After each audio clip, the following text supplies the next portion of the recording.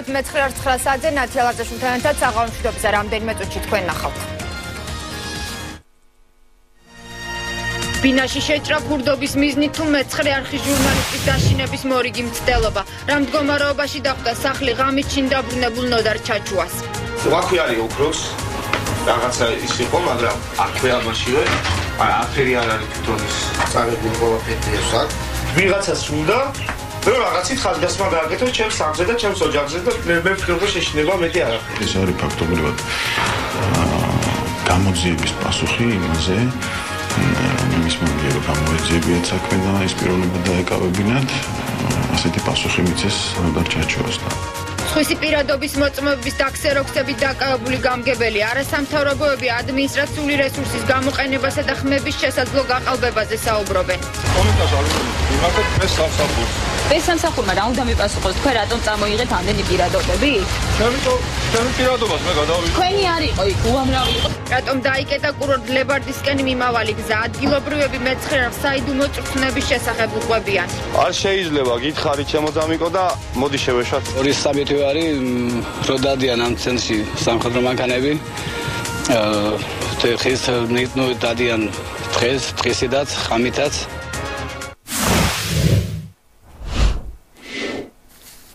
დაშინების მცდელობა და ფსიქოლოგიური ზეწოლა ჟურნალისტის წინააღმდეგ მიმართული კიდევ ერთი ფაქტი და მორიგის სისხლის სამართლის საქმე, რომელიც ნოდარ ჩაჩუასთან დაკავშირებით აღიძრა. როგორ მდგომარეობაში დახვდა ბინა მეცხრე არხის ჟურნალის სამსახურიდან დაბრუნების შემდეგ. ჩამოხეული ფარდები, იატაკზე დაყრილი წიგნები, ტანსაცმელი და პირადი ნივთები. მიუხედავად იმისა, რომ სახლიდან არაფერია წაღებული, მათ შორის არც ფული და არც ძვირფასი ნივთები, პოლიციამ საქმე ქურდობის მუხლით აღძრა. გამოძიება არ აკავშირებს ერთმანეთთან ჟურნალისტის შანტაჟისა და მის ბინაში შეჭრის ფაქტებს. ბოლო ერთ თვეში კი ეს უკვე ნოდარ ჩაჩუაზე განხორციელებული ფსიქოლოგიური ტერორის მეორე ფაქტია. წაღებული არ არის არაფერი, აქიდო თვითონ აქვემედო ფულიც და სადაც ფული არის ადგილზე, ამაში ანუ ის უჯრა რომელიც გადმოგდებულია და ფული ადგილზეა კაპიკი არ არის მოკლებული და დაქვე ზევით ოქრომედო და ის ოქროც ადგილზე. შანტაჟისა და დაშინების შემდეგ დაუდგენელი პირები ამჯერად მეცხრე არხის რეპორტიორის ბინაში შეიჭრნენ. გადმოყარის ციგნები ტანსაცმელი ნოდარ ჩაჩუას და მისი მეუღლის პირადი ნივთები. თუმცა ფულის და ძვირფასი სამკაულებიც ადგილზე დატოვეს. გამოძიება ბინაში შეჭრის ფაქტზე გუშინ ღამითვე დაიწყო. ჟურნალისტმა ქურდობის მცდელობა თავიდანვე გამორიცხა. ვიღაცას უნდა მე რაღაცით ხაზგასმა გააკეთო ჩემს სამზე და ჩემს ოჯახზე და მე მე ვფიქრობ რომ შეშინება მეტი არაფერი. გამოძიებას ამ დრომდე არ დაუკავშირები ერთმანეთთან ორი ოტკვირის წინ ძალოვანი პირების მხრიდან ნოდარ ჩაჩუას დაშანტაჟებისა და ბინაში შეჭრის ფაქტი. მეტიც იმის მიუხედავად რომ ბინიდან არაფერი გაუტანიათ საქმე მაინც ქურდობის ფაქტზე აღიძრა. ნივთები არ არის როგორც ასეთი გატანილი, არც ქონება, არც მაინც ბინის ქურდობის ფაქტზე აღიძრა საქმე. ხვის სახში უკანა ჩეჭრა ხო არის? ეხლა ეს დეტალურ დასკვნას მე ვერ გავაკეთებ, სანამ გამოძიება არ დასრულდება. დეტალურად წაიკითხეთ და ნახოთ უხური, რომ sig att ja, men var precis som de är, så tar ordet. ტელეგრამი კრიმინალისტების მუშაობას და გამთენიისას ნოდარ ჩაჩუას დაზარალებული სტატუსი დაკითხვას ესწრებოდა ჟურნალისტის ადვოკატი. გიორგი როსტომაშვილი გამოძიებისგან შანტაჟისა და ბინაში შეჭრის ფაქტების ერთმანეთთან დაკავშირებას პროკურატურისგან განცხადებით უახლოეს დღეებში მოითხოვს. ქურდობას ადგილი არ ქონია, ვინაიდან თვალსაჩინო იყო როგორც გამოძიებისთვის, ასევე ჟურნალისტებისთვის, ადგილზე გახდათ ყველა ის ძვირფასი ნივთები, ოქროულობა, ასევე ფული, რომელიც გადაადგილებულიც კი იყო, ასე ვთქვათ, დამნაშავეების მიერ. რაკეთა გამომდინარე აღნიშნული მუხლი მიგვაჩნია შეუსაბამოდ. ჟურნალისტის ნაკირავებინაში მომხდარ შანტაჟის გაგრძელება დაფასებს მეცხრე არხის გენერალური დირექტორი კახა ბექაურიც. ეს არის პასუხი ფაქტობრივად და ეს არის გაგრძელება იმ უქარის და შანტაჟის, იმიტომ რომ გავიდა დიდი პერიოდი, ამოცნობილი ადამიანი არსებობს ფოტო და აბსოლუტურად რეაგირება არ არის უკვე ამდენი ხანია. ჩაჩუას პირველი საქმე ძალოვანი პირების მიერ მისი დაშანტაჟებისა და მუქარის ფაქტს ეხება. უცნობი პირები ჟურნალისტს აიძულებდნენ მიეწოდებინა როგორც პირადი, ისე სამსახურებრივი ინფორმაცია საკუთარი კოლეგების ან რესპონდენტი პოლიტიკოსების შესახებ. მეცხრე არხი მაშინ პროკურატურისგან საქმის რამდენიმე მუხლით აღზრას ითხოვდა, მათ შორის ჟურნალისტური საქმიანობის ხელის შეშლასა და თანამდებობის ბოროტად გამოყენებაზე. თუმცა პროკურატურამ სისხლის სამართლებრივი დევნა მხოლოდ მუქარის ფაქტზე დაიწყო. ყოფილი ჟურნალისტი ამჟამად კი ქართული ოცნების მაჟორიტარობის კანდიდატის სპეცსამსახურებში დაგეგმილი ლიკვიდაციის გეგმაზე საუბრობს. ელისო ჩაფიძე ირწმუნება, რომ სამიზნე თავად არის. ტყიბულის რაიონის მაჟორიტარობის კანდიდატი მტკიცებულებებს ჯერ არასაჯაროებს, თუმცა თავდაცვის მიზნით მასალები დიპლომატიურ კორპუსს უკვე გადასცა. ღია განცხადების მიუხედავად, რომელიც ყოფილმა ჟურნალისტმა პრესით გავრცელა შესაძლო თავდასხმის მცდელობაზე, შინაგან საქმეთა სამინისტროს მოკვლევაც კი არ დაუწყია. პოლიცია ჩაფიძისგან წერილობით მიმართვას და მტკიცებულებებს ელოდება. სასიცოცხლო საფრთხე რომ რეალური ამის მტკიცების საფუძველს ელისო ჩაფიძეს მოპოვებული ვიდეო ჩანაწერი და მოწმეთა მონაყოლი აძლევს. განმარტავს რომ სახელმწიფო სპეცსამსახურში დაწერილი ლიკვიდაციის სცენარის მიხედვით ტყიბულის კონსტიტუციური უშიშროების დეპარტამენტის თანამშრომლები მისი გადაადგილების მარშრუტს, ავტომობილის ტექნიკურ მხარესა და სხვა საჭირო დეტალებს ფარული დაკვირვებით დიდი ხანია სწავლობენ. გარკვეულ პროვოკაციის მოწყობას აპირებდნენ ჩემს მიმართ. პროვოკაცია დაიგეგმა ორი მიმართულებით. ერთი მიმართულება გახლავთ ის, რომ მე უნდა მომთხოვონ რაღაც დახმარება ან თანხა და ამის საფუძველზე მომხსნან არჩევნებიდან როგორც მაჟორიტარობის კანდიდატი და მეორე მიმართულება ეს არის ჩემი გადაადგილების გაკონტროლება თუ რომელი მხრიდან ჩდები ავტომანქანაში და ასე შემდეგ. ამის საფუძველზე შესაძლოა გაჩნდეს ლოგიკური ეჭვი რომ შემთხვევითი ავტოავარიები ამ ქვეყანაში ძალიან ხშირად ხდება. თავდასხმის გახმაურებულ გეგმაზე ინფორმაციას არქულობენ მართლ გუნჩი. პოლიტიკური მეტოქის სიცოცხლის შესაძლო ხელყოფის შესახებ შეკითხვაზე ნაციონალურ მოძრაობაში პასუხი არ აქვს. რა თქმა უნდა, ამ საკითხზე მე კომენტარს არ გავაკეთებ, რამდენადაც არ მიმაჩნია სერიოზულად ასეთი ტიპის განცხადებები. მოსალოდნელი საფრთხის შესახებ ინფორმაცია რეაგირების დასაწყებად საკმარისი გარემოება არ აღმოჩნდა შინაგან საქმეთა სამინისტროსთვისაც.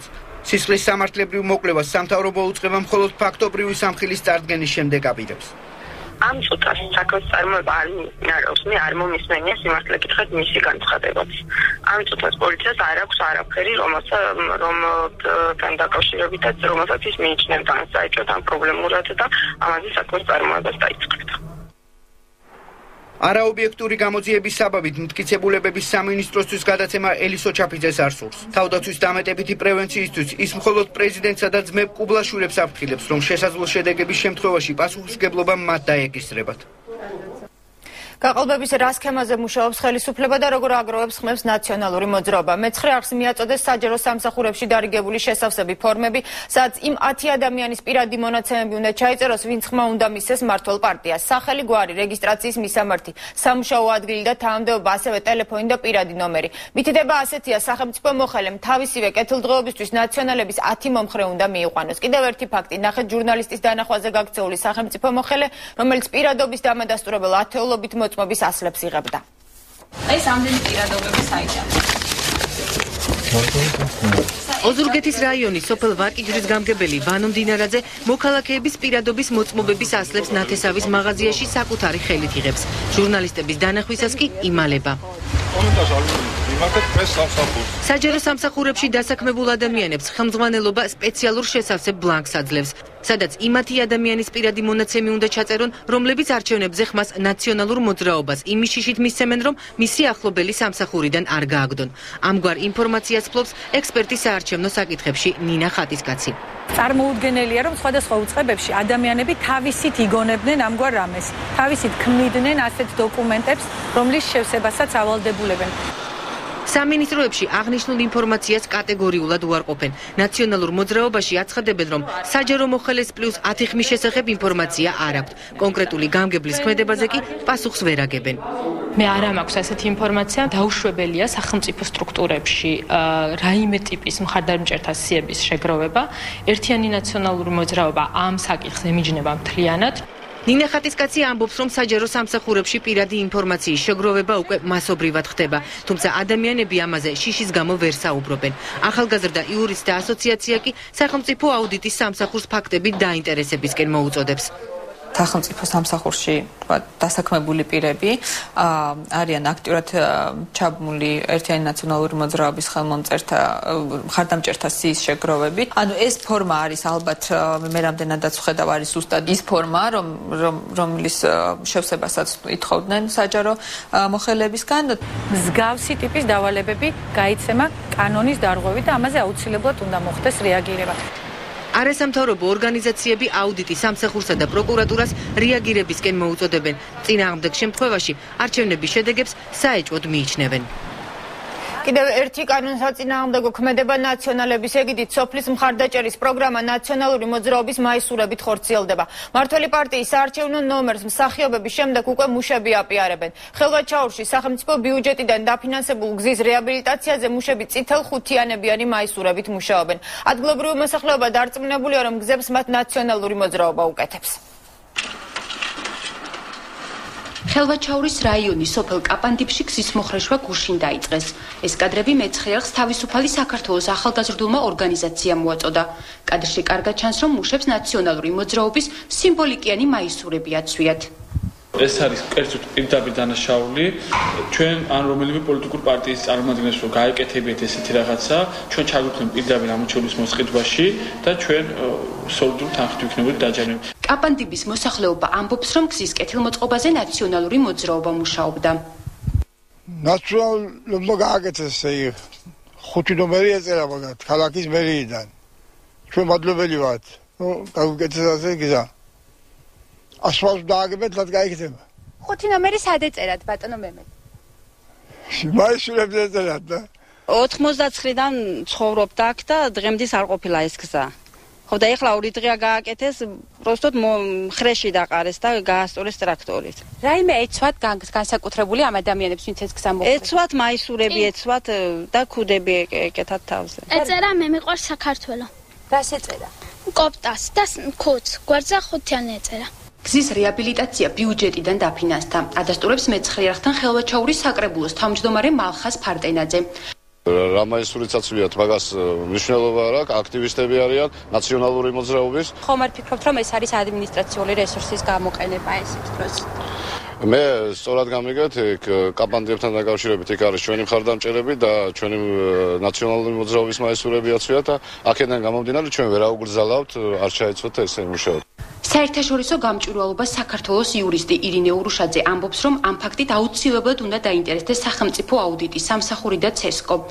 ამ შემთხვევაში შეიძლება იყოს სახეზე ორი რამ, ერთის მხრივ ადმინისტრაციული რესურსის გამოყენება, იმიტომ რომ პარტია საბიუჯეტო ღონისძიებაზე ახორციელებს თავის პიარს, ასე თქვათ, იმიტომ რომ აცვიათ მაისურები, მაშინ როცა ბიუჯეტი დაფინანსებული ღონისძიება. მეორეს მხრივ კი იყოს უკანონო შემოწირულება სახელმწიფოს მხრიდან, რადგან სახელმწიფო თავის მიერ განხორციელებულ ქმედებაზე, ამ შემთხვევაში გზის დაგებაზე იყენებს პარტიულ ნიშნებს. ხელვაჩაურის სოფლებში გზების რეაბილიტაცია სოფლის მხარდამჭერი პროგრამის ფარგლებში გრძელდება. საამისო სახელმწიფო ბიუჯეტიდან 1.400.000 ლარი დაიხარჯება. რატომაა გადაკეტილი კურორტ-ლებარდისკენ მიმავალი ერთადერთი საავტომობილო გზა სამეგრელოს მოსახლეობაში დიდი ხანია ვრცელდება ცნობა ტყეში გახიზნული შეარაღებული პირების შესახებ.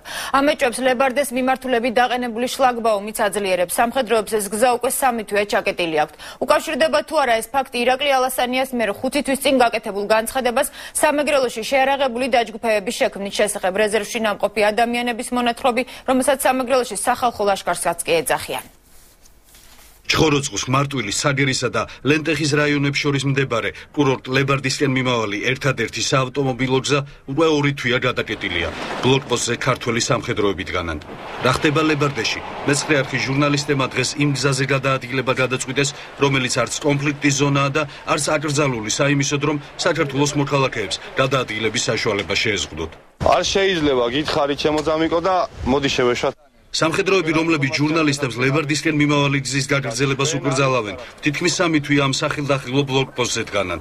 ამბობენ, რომ ვერ გაგვატარებენ, თუმცა მიზეზებს ასევე ვერ ასახელებენ. ეს კამერა კიდე თუ შეიძლება გათიშ. ამიგე, ბატონო და გავთ. არ შეიძლება რა. პრობლემები.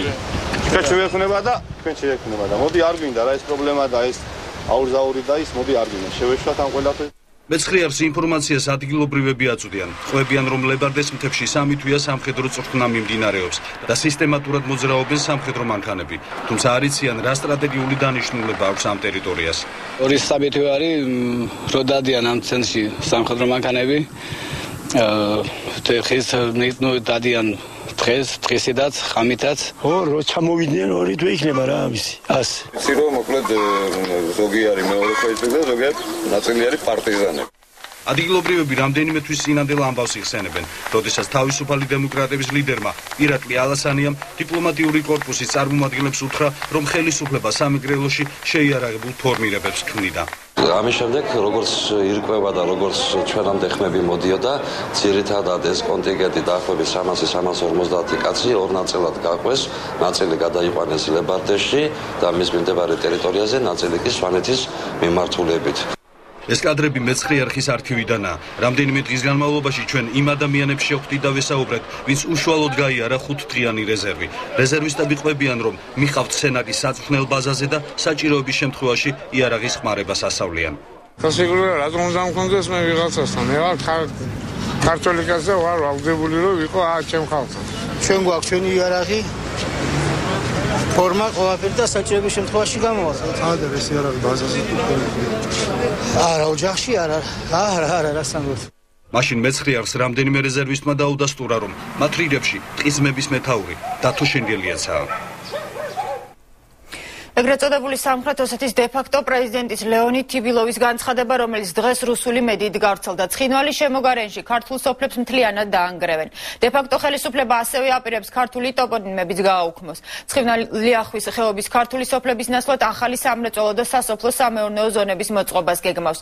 თბილისი პასუხისგებლობას მოსკოვს აკისრებს, დევნილები კი ამ გეგმას ქართული კვალის წასვლის მცდელობას უწოდებენ. კეხვი, აჩაბეთი, ქურთა და ლიახვის ხეობის კიდევ ხუთი სოფელი.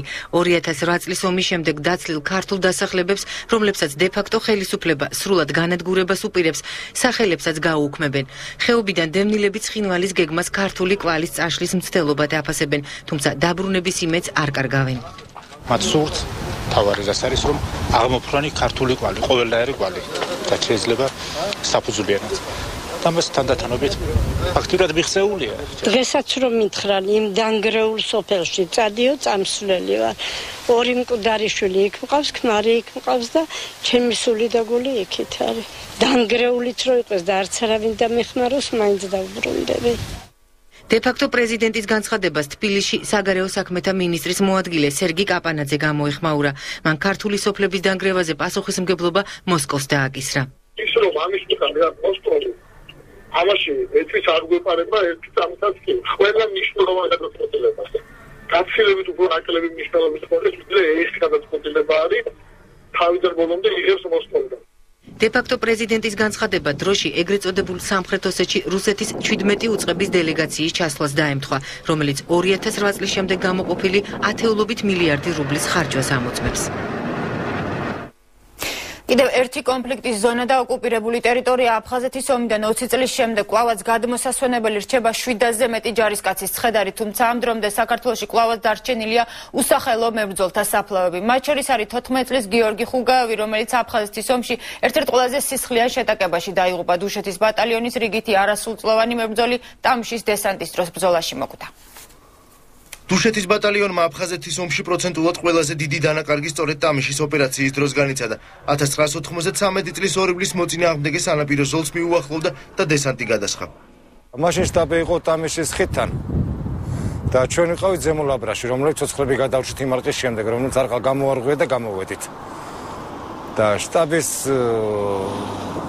შტაბში მყოფი ხალხი თითქმის სულ ერთიანად გაწყდა. გადააწყდნენ ჩასაფრებულ დესანტს. მაიმუნს საშენთან, ანუ ეგრეთ წოდებულ პიტომნიკთან. წინა მანქანა ოფეთკეს, ბოლო მანქანა აფეთკეს, დანარჩენს უკვე დახვნენ. აი ეგრე მოხდა მაგათი განადგურება. შეტაკების ეს ბატალიონის 40 წევრი, მათ შორის კი ყველაზე უმცროსი, 14 წლის გიორგი ხუგაევიც დაიღუპა. ეს კადრები 1993 წელსაა გადაღებული, სადაც გიორგის პირველი და უკანასკნელი ინტერვიუა აღბეჭდილი. თვალების სულს უსურვებდი იმას, რომ სულ მშვიდობაში ყოფილიყვნენ და ტერი აღარ ყოლოდეს საქართველოს. დუშეთის ბატალიონი ინტერნაციონალურ ბატალიონად ითვლებოდა, რადგან იქ თითქმის ყველა ეროვნების ჯარისკაცი მსახურობდა. მათ შორის სამი გოგონა იყო, რომელთაგან ორი სწორედ ტამიშის დესანტთან ბრძოლისას დაიღუპა. ვინც მეგობრები მყავდა უკვე დავმარხე და ვინც დამრჩა არ მინდა რომ ისინიც დავმარხო. მინდა რომ მალე დასრულდეს არავისთვის საჭირო ომი და ყველამ თავისი ადგილი იპოვოს ცხოვრებაში. ზარაფრის შეში არა კონდეთ ჩვენ ახავას რას თავარია და როგორც შეგვიძლია ესე ვიბრძოლოთ ხო ქართულ მომხარემ 1993 წელს ამ ქვედანაყოფის ყველა დაღუპული მებრძოლი გადმოასვენა. აფხაზეთიდან ქართული ჯარისკაცების გადმოსვენების პროცესი ამჟამად შეჩერებულია, თუმცა ოჯახის წევრები იმედს იტოვებენ, რომ პროცესი უახლოეს მომავალში განახლდება. თქვენ უყურებთ მე-9 არც 9 საათზე ჩვენი მოსმენა ასევე შეგიძლიათ რადიო ოცნებზე FM 98. ირაკლი ალასანია საარჩევნო კამპანია ზუგდიდის მაჟორიტარი დეპუტატობის კანდიდატის რანგში ხვალიდან ოფიციალურად დაიწყებს. უშიშარი და გონიერი ყველაფერი ესმე პირადად აბსოლუტურ საფუძველს მაძლევს ვიფიქრო რომ ის ქვეყნის მართვას თავისუფლად მოახერხებს. ამ სიტყვებით წარუდგინა კოალიციის ლიდერმა ბიძინა ივანიშვილმა ზუგდიდელებს ოცნების ადგილობრივი კანდიდატი. ალასანიების საგვარეულო სახლის ეზოში გამართულ შეხვედრას ინციდენტის გარეშე არჩაულია ქალბატონები ვინც ივანიშვილის ოდიშსა და ორულუში ვიზიტების ჩაშლას ცდილობდნენ დღეს ზუგდიდში სააკაშვილის სახელს კანდიდირებდნენ. ქართული ოსნების მაჟორიტარობის კანდიდატი ზუგდიდში ირაკლი ალასანია იქნება. კოალიციის წევრი დღეს ზუგდიდელ ამომრჩეველს თავად კოალიციის ლიდერმა ბიძინა ივანიშვილმა წარუდგინა. ივანიშვილმა ზუგდიდელებს ერთი რამეც გაუმხილა. ის ალასანიას ქვეყნის მართვასაც ანდობს. როგორი მეგობარია ის, როგორ მეხმარება მე პირველი დღიდან, როგორ როცა მოვედი ხელისუფლებაში გამოუცდელი კაცი. და მე ძალიან ბევრი შემიძლია ვისაუბრო ირაკლის დამსახურებებზე. როგორი კაცია, როგორი უშიშარია, როგორი გონიერია და ყველაფერი ეს, რომ იცოდეთ, მე პირადად აბსოლუტურ საფუძველს მაძლევს, რომ თავისუფლად დავენდოდა ქვეყნის მართვას მოახერხებს თავისუფლად ჩვენი ირაკლი. ალასანიას წარდგენა სიმბოლურად მის საგვარეულო სახლში მოხდა. ირაკლი ალასანიამ შეკრებილებს განუცხადა, რომ საზოგადოებას დღეს ყველაზე მეტად სოლიდარობისა და ერთადგომის განცდა აკლია. ქვეყანას და პირველ რიგში ამ კუთხეს და ზუგდიდს სწორედ ჩვენი ერთსულოვნება დაუბრუნებს. ყველაზე უფრო რაც დღეს ხალხს აკლია არის პატრონის, არის სოლიდარობის და თანადგომის განცდა. სწორედ გათითოკაცებული რო ვიყავით დღემდე, ამიტომაც არ ქონდა ჩვენ ხმას ის ძალა, რომ ხშირ შემთხვევაში უგუნურ ნაბიჯებზე წასული ხელისუფლება გამოგვეფხიზლებინა და სწორი მიმართულებით წაგვეყვანა. ალასანიას წარდგენამდე კოალიციის ლიდერი ზუგდიდელ ამომრჩეველს შეხვდა. ბიზნა ივანიშვილმა ყურადღება აფხაზეთის თემაზე გაამახვილა და აღნიშნა, რომ ჩატეხილი ხიდის აღდგენა აფხაზეთთან სწორედ სამეგრელოდან უნდა დაიწყოს. ჩვენ უნდა დაებრუნოთ ჩვენი ძმები აფხაზები და ჩვენ უნდა დაებრუნოთ ჩვენი ძმები ოსები. რაც შეეხება აფხაზეთს, რა თქმა უნდა სამეგრელოს ისტორია, სამეგრელოს და აფხაზეთის ისტორიას თუ გადახედავთ, თუ გაიხსენებთ მორდუების ინსტიტუტს, რაც იყო აფხაზეთსა და აჯარას შორის, თუ გაიხსენებთ როგორც დიდენ და მიყვანდა მიყავდათ ოჯახებიდან შვილები, როგორი ბრძენი წინაპარი ხავდა ჩვენ, როგორ ახერხებდა მორდუების ინსტიტუტის საშუალებით, როგორ ახერხებდნენ რომ მეგობრობით და მეზობლობით გვეცხოვრა. ქართული ოსნების ლიდერების ზუგდიდურ შეხვედრას ინციდენტის გარეშე არჩაულია. ოსნების შეხვედრის ჩაშლა დღეს იმ ქალბატონებას სადეს, რომლებიც იმავე მისიით ივანიშვილის ოდიშისა და ორულუს შეხვედრებზეც იყვნენ მობილიზებულნი. პუტინის ალანიანის ბერძნოუდი ხაკერას ვერ ასრულებს მაშინაც იყვნენ ის ზუსტად ის ქალბატონებია ერთ-ერთი სხვადასხვა ხელოვანი ქალბატონია მღერის ერთ-ერთ ხალხურ გუნდში და სიდისიდან ამოსია დაკარგული. მე არ ვიცი რა უნდა მიეცათ ამ ხალხისთვის ისეთი რომ აი ესეთ სიტუაციაში ჩაახენოს. ირაკლი ალასანია ზუგდიდში რამდენიმე თვის წინ როგორც თავად ამბობს შიშის დასამარცხებლად გადავიდა. ოფიციალურ საარჩევნო კამპანიას კი ოსნების ერთ-ერთი ლიდერი მომავალი კვირიდან დაიწყებს პრეზიდენტის ოცნება ოლიმპიადა სიმაღლიდან ხტომა და მოწინააღმდეგეზე გამარჯვების რეცეპტი სწორედ ამ თემებზე ესაუბრა მიხეილ სააკაშვილი ანაკლიაში პატრიოტთა ბანაკის ახალგაზრდებს პრეზიდენტის თქმით საქართველოსთვის ოქროს ხანა 2004 წლიდან ოლიმპიადაზე მიღებული ოქროს მედლით დაიწყო. ვარდების რევოლუციამდელ საქართველოს კი სააკაშვილი ბრინჯაოს ხანად მოიხსენიებს. პრეზიდენტს გამარჯვებულ სპორტსმენებთან ერთად არც ქართველი ძიუდოისტი ბეთქილ შუკვანი დაიწყებია ერთიც გამოჩნდა რომელიც რომელმაც სოფლიო რეკორდი დაამყარა სასტუმროს ფანჯი და სიმაღლე და ხტომაში ვიდეოში რომელიც ნაციონალური არხებით გავიდა მიხეილ სააკაშვილი ანაკლიაში სპორტსმენებთან სიტყვით გამოსვლისას ოლიმპიერ ბეთქილ შუკვანზე საუბრობს. ესეთი ხალხი წარსებობს.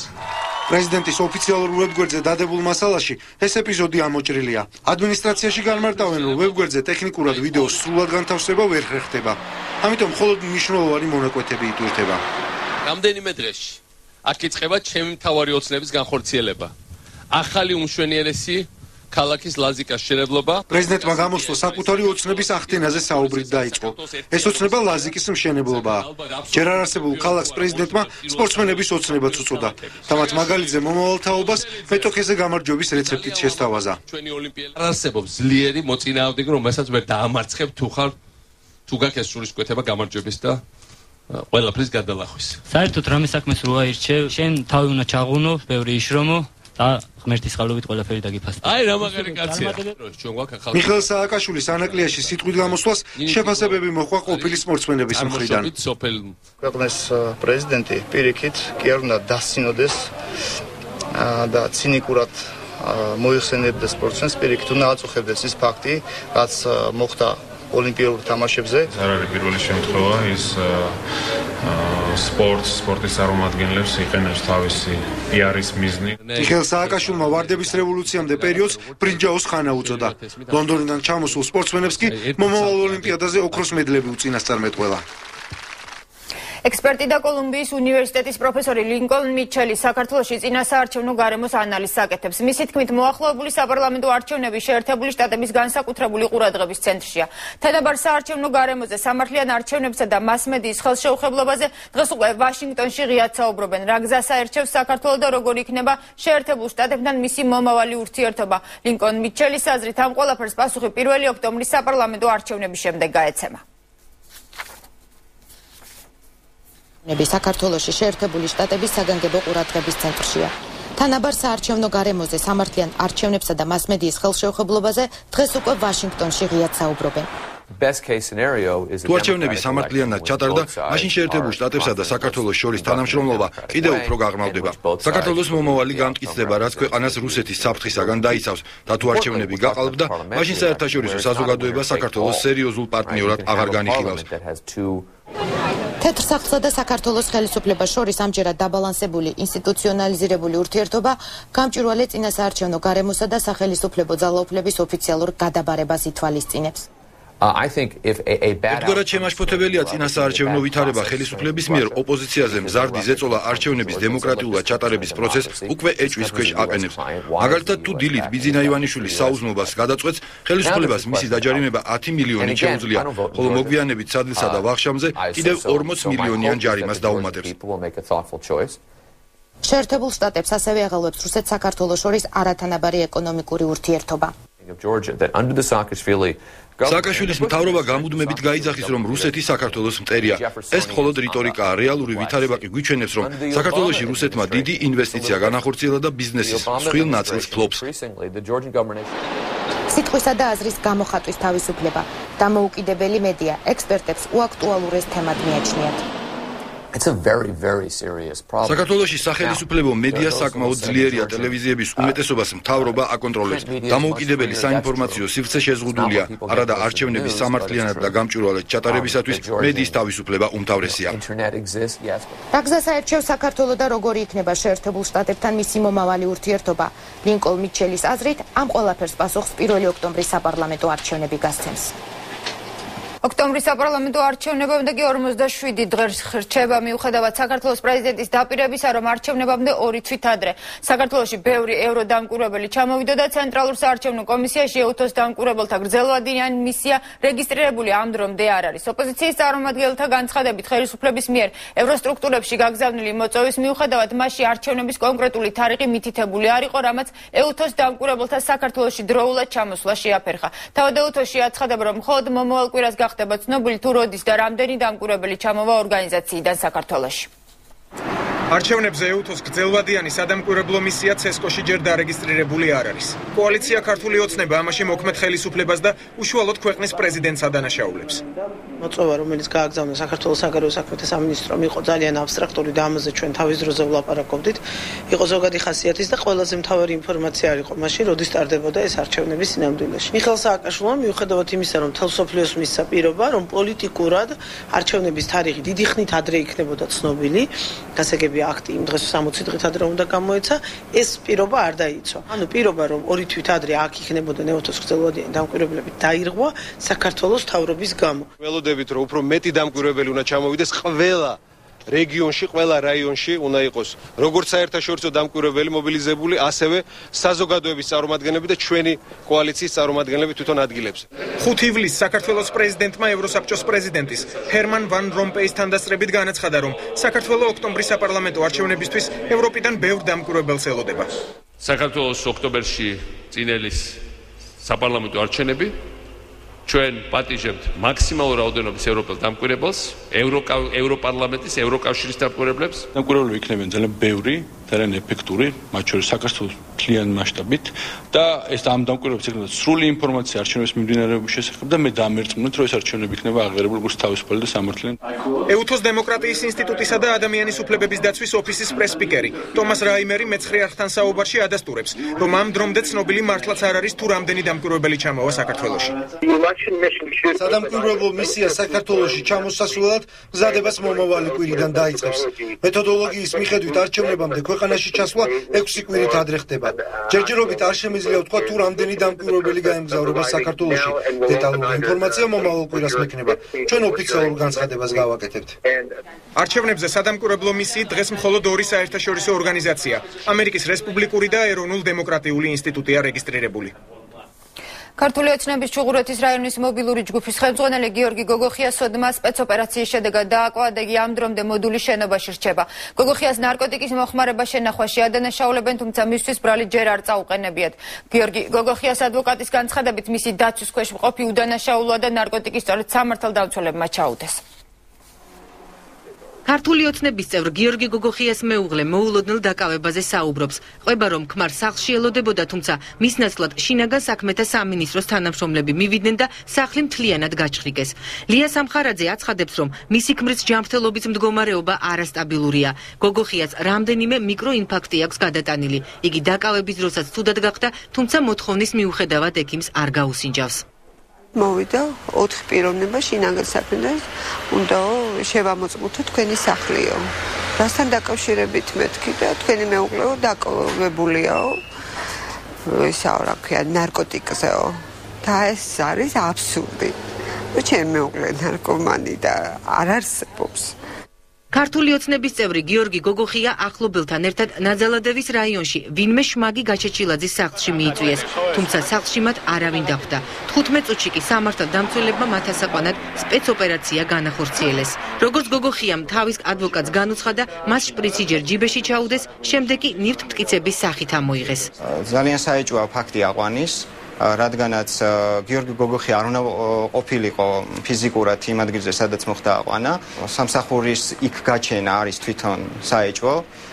რადგანაც მისვლის ადგილზე 15 წუთში 15 დაახლოებით 15 წუთში მოხდა მისი აყვანა. ქართულოცნებაში პოლიტიკურ დევნაზე საუბრობენ და აცხადებენ, რომ მსგავსი შემთხვევები ყოველდღიურად მატულობს. ადამიანს აი ესე უტიფრად ჩაუდეს ჯიბეში შპრიცი ამოღეს და ოთხეს რომ თქვენ გაკავებთ აი ამ ბრალდებით. და მან მიიღო ტენდენციის ხასიათი მარტო ბოლო ორი დღის განმავლობაში ეს არის ორი ასეთი საქმე, მაგრამ თუ თლიანად ავიღებთ რა ხდება ხო დაჯარიმებები, სამსახურიდან გაშვებები, ესეთი ნარკოტიკების ჩადებები, ავტომანქანების გადაყვანების საჯარიმო მოედანზე და ასე შემდეგ და ასე შემდეგ, ეს ყველაფერი იძლევა ძალიან ძიმე სურათ. გოგოხია თავს დამნაშავედ არცნობს და დუმილის უფლებით სარგებლობს. ქრისტიან დემოკრატები არჩევნებში გამარჯვების შემთხვევაში საპატრიარქოს ბიუჯეტის გაოთხმაგების პირობას დებენ. თარგამაძის ამ ინიციატივას საკუთარი Facebook-ის გვერდზე უკვე გამოეხმაურა პატრიარქის საქველმოქმედო ფონდის ხელმძღვანელი, რომელმაც რელიგიური თემატიკის გამოყენება მიუღებლად შეაფასა. ქრისტიან დემოკრატების ამ ინიციატივის გამო პოლიტიკურ პოპულიზმშიც ბდებენ ბრალს. ქრისტიან დემოკრატიული მოძრაობა ერთადერთი პოლიტიკური პარტიაა, ვინც ამ დროისთვის გამოქვეყნებულ წინა საარჩევნო პროგრამაში ერთ-ერთი მთავარი აქცენტი საპატრიარქოს ბიუჯეტის გაზრდაზე გააკეთა. პოლიტიკური პარტია არჩევნებში გამარჯვების შემთხვევაში ამომრჩეველ საპატრიარქოს ბიუჯეტის 4ჯერ გაზრდას, ანუ ამ დრომდე გაკუთვნილი 22 მილიონი ლარის ნაცვლად სახელმწიფო ბიუჯეტიდან 100 მილიონი ლარის გამოყოფას პირდება. აი სწორედ ამიტომ ჩვენთან არს ღმერთი არც დაიყოს ქრისტიან დემოკრატების ამ წინასაარჩევნო დაპირებას საკუთარი Facebook-ის გვერდზე გამოეხმაურა პატრიარქის საქველმოქმედო ფონდის ხელმძღვანელი. ლაშა ჟვანია მიუღებლად მიიჩნევს რელიგიური თემის საარჩევნო პროგრამაში გამოყენებას. ქრისტიან დემოკრატების ამ დაპირებას პოლიტიკურ პოპულიზმად აფასებენ თეოლოგებიც. გაკვირვებას იწვევს რატომ აძლევს თავს უფლებას პოლიტიკური პარტია საპატრიარქოსთვის თანხის გამოყოფის ოდენობა წინა საარჩევნო პროგრამაში ახსენოს. ჩემი აზრით სრულიად გაუგებარი გაუმართლებელია ისე როგორც სახელმწიფო პოზიციიდან ასევე ეკლესიისთვის არ არის ეს კარგი, იმიტომ რომ ეკლესიას თუ მისცემ ძალიან დიდ ფულს და მით უმეტეს არ გააკონტროლებ, იქ შეიძლება დაიწყოს საკმაოდ ისეთი არაჯანსაღი პროცესები ამ თანხების გარშემო. რელიგიურ პოპულიზმში ქრისტიან დემოკრატი ინგა გრიგოლია პოლიტიკურ ოპონენტებს ხელისუფლებასა და პრეზიდენტ სააკაშვილსა დანაშაულებს. გრიგოლიამ დღეს ბრალდებას პოპულიზმთან დაკავშირებით პრაიმ ტაიმის პრესკლუბში უპასუხა. სადმე თუ კი გინახავთ ქრისტიან დემოკრატების რომელიმე პოლიტიკურ ღონისძიებაზე ერთი სასულიერო პირი მაინც. ეს არ ყოფილა და ამიტომ მიხედონ იმ ლიდერებს რომლებიც ხან ღვინის დაყენების ტექნოლოგიებს არკვევენ პრეზიდენტის სახით სასულიერო პირებთან ერთად და ხან კი მიდიან და პატრიარქის გვერდზე ჩდებიან კიდევ დანარჩენები. იმის ნიშნად რომ თითქოს საპატრიარქოსგან აქვს პოლიტიკური მხარდაჭერა. ქრისტიან დემოკრატების საპატრიარქოს ბიუჯეტის გაუთხმაგების გარდა მართლმადიდებელ ეკლესიას არჩევნებში გამარჯვების შემთხვევაში პარტნიორობას სოციალური პროექტების განხორციელებაშიც სთავაზობენ. მიწების ჩამორთმების ახალი წესები აჭარაში ქობულეთის რაიონის ორ სოფელში მოსახლეობას ჯერ კიდევ 2008 წელს დამტკიცებული ნაკვეთები გაუყიდეს. მიწების ეკონომიკის სამინისტრო ისე ყიდის, რომ ადგილობრივ მუნიციპალიტეტს ამ ფაქტების შესახებ ინფორმაცია არ აქვს. ადგილობრივები დაკანონებულ მიწებს ვეღარ ამუშავებენ ფაქტის გამჟღავნების შემთხვევაში კი დაჭერით ემუქრებიან. აჭარაში მიწის ჩამორთმევის ახალი წესები ამოქმედდა. ქობულეთის მუნიციპალიტეტის სოფლებში გვარასა და ალამბარში მუნიციპალიტეტის მიერ ჯერ კიდევ 2008 წელს დაკანონებულ მიწის ნაკვეთებს ეკონომიკის სამინისტრო ყიდის. ადგილობრივი მუნიციპალიტეტი ამ ფაქტების შესახებ ინფორმაციას არ ფლობს. ამ მოქალაქეებმა არ მიმართეს საჯარო რეესტრის ეროვნულ სააგენტოს და შესაბამისად არ მოხდა დარეგისტრირება მათ საკუთრებაში აღნიშნული მიწის ნაკვეთების. რიზა წერეთელს თობგლეთში მიწის აღიარების კომისიამ საკუთრება 2008 წელს დაუყანონა. წელს კი მამაპაპისეულ მიწის ნაკვეთს ახალი მესაკუთრე გამოუჩნდა. გადავეხადე ფული ბანკში. ყველაფერი დოკუმენტი გავაფორმე და მე ვერ დავამუშავე. ერთ ორ წელიწადს. მე როცა ვიფიქრე წელს უნდა დემემუშავებია გაგიდეს, გამიყიდეს ეს მიწა. არასწორად გაფორმებულიყო, მაიო არ განხილო თუ რა დაგიჭირვე. ახალგაზრდა იურისტთა ასოციაცია აჭარაში ამ ფაქტის შესახებ ინფორმირებულია და 12 ოჯახის უფლებებს სასამართლოში დაიცავს. დანარჩენებს კი სასამართლოში საჩივრელად ასლარიანი ბაჟის გადახდის შესაძლებლობა არ აქვთ. საია ამ ფაქტს საკუთრების უფლების ხელყოფად აფასებს და სასამართლოში ეკონომიკის სამინისტროს აქტის ბათილად ცნობას ითხოვს. ანუ მუნიციპალიტეტის საკრებულოს კომისიამ თუ სხვა უფლებამოსილ ორგანომ გასცა ფიზიკურ პირზე საკუთრების უფლების მოწმობა, რომელიც იყო რეგისტრირებული საჯარო რეესტრში, ხოლო მეორეში აღნიშნულ შემთხვევაში სახელმწიფო მიიტანს დასუსტებულ აზრობით ნახავს და არეგისტრირებს ევიდან აი ეს ადამიანი ფურცელზე აქვს საკუთრების უფლების მოწმობა, ხოლო რეალურად ეს საკუთრებას არ აფლობს. კორუფციულ დარიგებაში ადანაშაულებს ხელისუფლებას იურიდიულ და ფიზიკურ პირთა უფლებების დამცველი ანტიკორუფციული კავშირის თავმჯდომარე გიორგი ბურჯანაძე. ანტიკორუფციული ქმედებები აუცილებლად შესაძლებელი, იმიტომ თუ არა კორუფციული გარიგება, აქ არანაირად არ მოხდებოდა ერთი ქონების უსაფუძვლოდ მეორეზე გადაცემა. რაყიდა თუ არა ეკონომიკის სამინისტრომ გლეხების საკუთრებაში არსებული მიწის ნაკვეთები ამ კითხვაზე პასუხს მეცხრე არხი ქობალიას უწყებიდან 2 დღის განმავლობაში უშედეგოდ ელოდა. უცხოეთის მთავარი ამბები ომი სირიაში დღეს მეამბოხეებმა სირიაში სამთავრობო არმიის კოლონა გაანადგურეს და ქალაქ ილდიბთან გაიმყარეს პოზიციები. არეულობა და სროლა არ წყდება დამასკოშიც, რასაც დღეს გაეროს დამკვირვებელთა სასტუმროსთან ძლიერი აფეთქება დაემატა. მე ამბოხეთ და ხელში მოხვედრილი ასადის არმიის ოფიცრის კადრებს როიტერი ავრცელებს. შეერაღებული ძალების კაპიტანი საკანალიზაციო ჭაში იმალებოდა. სამთავრობო არმიის 4 ტანკისგან შემდგარი კოლონა ქალაქ ილდიბიდან ბაბალხავას მიმართულებით იმ დროს მოძრაობდა, როდესაც მე ამბოხებმა ტანკს აწინააღმდეგო იერაღიდან ცეცხლი გასცეს. ღმერთი წყალობით სამი ტანკი გავანადგურეთ, ერთი კი ხელთ ჩავიგდეთ. ის ახლა სირიის განმანთავისუფლებელი არმიის საკუთრებაა. იცოდეს ბაშარ ასადმა, რომ რა რაკეტებიც არ უნდა გამოიყენოს, წინააღმდეგობას მაინც ვერ დაძლევს. მორიგი აფეთქება დამასკოში გაეროს დამკვირვებელთა სასტუმროსთან საწვამზიდი მანქანა აფეთქდა. დაჭრილია სამი ადამიანი. მომხდარი დაგმო სირიის საგარეო საქმეთა სამინისტრომ. დამასკო გაეროს ტერორისტების წინააღმდეგ ბრძოლისკენ მოუწოდებს.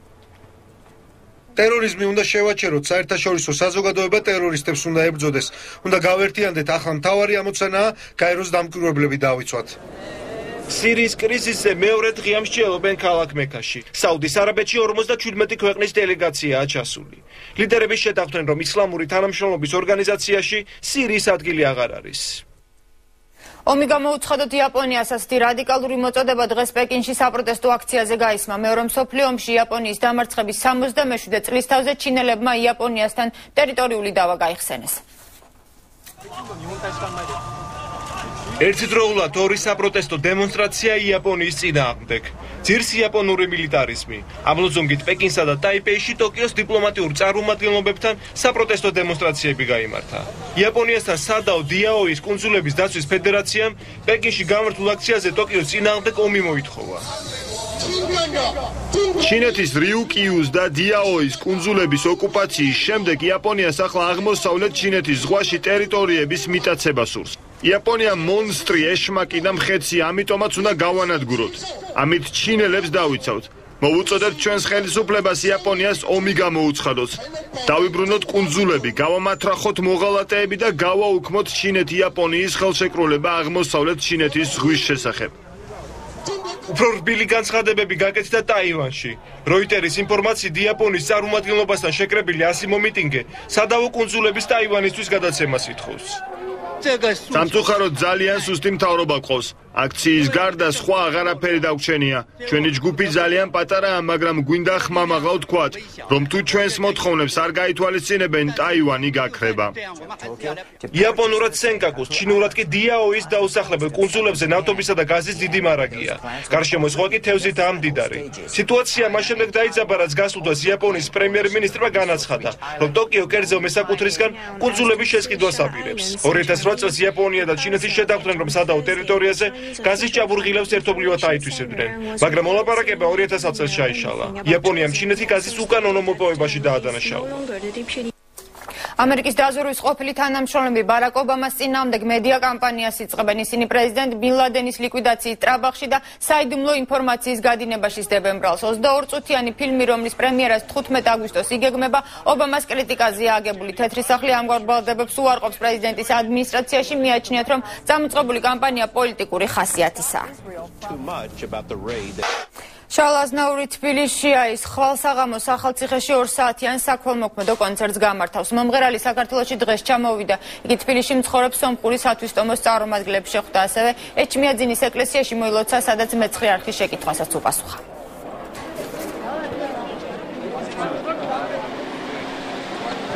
about my visit is a nice visit შესანიშნავი ვიზიტია საქართველოში ჩემი წინაპრები დაიბადნენ მამა ჩემიც აქ ცხოვრობდა ასე რომ ცოტათი ქართველი მეც გამოვდივარ. But enough to be. Для таких народов малочисленных. ისეთი მცირერიცხოვანი ერისთვის, როგორიცაა სომხეთი, ასეთი ცნობილი მომღერლის ყოლა დიდი პატივია. ძალიან მნიშვნელოვანი დღეა დღეს ჩვენთვის. მნიშვნელოვანია საქართველოსთვისაც, რადგან ხვალ ახალციხეში შარლ აზნაური რესტავრირებული ციხესიმაგრის გახსნაზე გამართავს კონცერტს.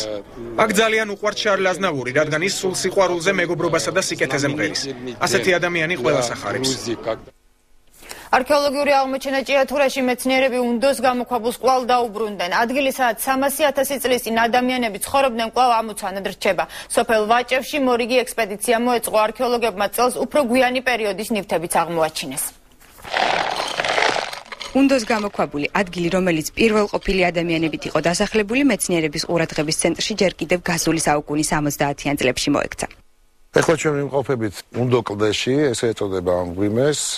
უნდო ეწოდება იმის გამო, რომ ღვიმის ბოლოში არის უზარმაზარი უფსკრული. ანუ ეს არ არის სანდო.